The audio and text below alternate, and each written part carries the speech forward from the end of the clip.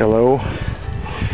This bore is fixed now, but uh, one thing, the weld was bad. There is uh, some damages in weld. So next time I will make this bore large and set in uh, something like that, bronze bush. Uh, what is easy exchangeable and uh, much much better for here.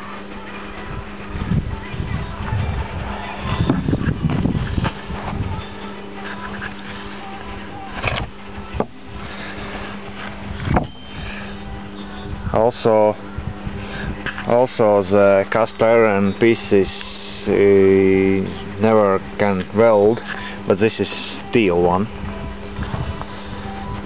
so thanks for watching. Good luck